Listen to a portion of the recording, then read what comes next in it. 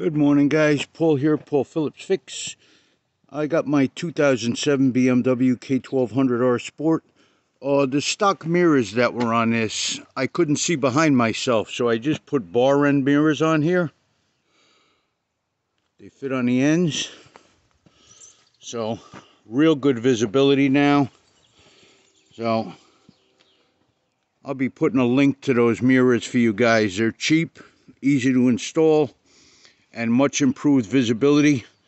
It's making the bike about three inches wider, four inches wider, that's all. Not a big deal.